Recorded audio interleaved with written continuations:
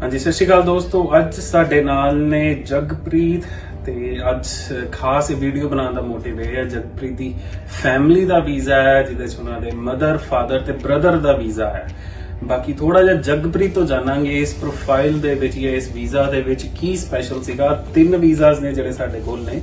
ਤੇ ਜਗਪ੍ਰੀਤ ਦੱਸੇਗਾ ਇਹਨਾਂ ਦੀ ਐਪਲੀਕੇਸ਼ਨ ਚ ਕੀ ਸਪੈਸ਼ਲ ਸੀਗਾ ਕਿ ਕਿਉਂ ਇਹ ਹੋਮ ਗਲੋਬਲ ਰეკਮੈਂਡ ਕਰ ਰਹੇ ਹਾਂਜੀ ਜਗ ਭਾਜੀ, ਮੈਂ ਨਾ ਜਿਵੇਂ ਅਜੇ ਕੱਲ ਹੀ ਫਾਈਲ ਲਵਾਈ ਸੀਗੀ 6 ਵਜੇ ਹਾਂਜੀ। ਤੇ 9 ਵਜੇ ਨੂੰ ਮੈਨੂੰ ਕਾਲ ਵੀ ਹੈਗੀ ਆ ਤੇ ਫਾਸਟ ਟਰੈਕ ਆਪਾਂ ਫਾਈਲ ਲਵਾਈ ਸੀ ਹਾਂਜੀ। ਤੇ ਜਿਹੜਾ ਕਿ ਮੇਰੇ ਬ੍ਰਦਰ ਦੀ ਅਜੇ ਯੰਗਰ ਆ ਲਾਈਕ ਜਸਟ 22 ਏਜ ਆ ਉਹਦੀ। 22 ਦੀ age ਹੈ। ਹਾਂਜੀ ਤੇ ਉੱਥੇ ਸਟੱਡੀ ਐਜ਼ ਅ ਬੈਚਲਰ ਕਰ ਰਿਹਾ ਉੱਥੇ ਹਾਂਜੀ ਤੇ ਜਗਪ੍ਰੀਤ ਤੁਹਾਡਾ ਇੱਥੇ ਸਟੇਟਸ ਕੀ ਹੈਗਾ ਮੇਰਾ ਐਜ਼ ਅ ਬਿਜ਼ਨਸ ਤੇ Bridging visa ਹਾਂਜੀ, ਤੇ। for it। ਹਾਂਜੀ ਦੇਖੋ ਜਗਪ੍ਰੀਤ ਨੇ ਤੇ 485 ਵੀਜ਼ਾ ਪਾਇਆ। ਇਸ ਵੇਲੇ ਬ੍ਰਿਜਿੰਗ ਵੀਜ਼ਾ ਤੇ ਹੈ ਇਹਨਾਂ ਦੀ ਫੈਮਿਲੀ ਦਾ ਇਨਕਲੂਡਿੰਗ ਇਹਨਾਂ ਦੇ ਬ੍ਰਦਰ ਜਿਹੜੇ ਕਾਲਜ ਦੇ ਵਿੱਚ ਬੈਚਲਰਸ ਕਰ ਰਹੇ ਇੰਡੀਆ ਦੇ ਵਿੱਚ ਇਹਨਾਂ ਦਾ ਵੀਜ਼ਾ ਆਪਾਂ ਕੱਲ ਸ਼ਾਮੀ 6 ਵਜੇ ਅਪਲਾਈ ਕੀਤਾ ਸੀ ਤੇ ਕਿੰਨੇ ਵਜੇ ਤੁਹਾਨੂੰ ਕਾਲ ਆਈ? ਨੋ।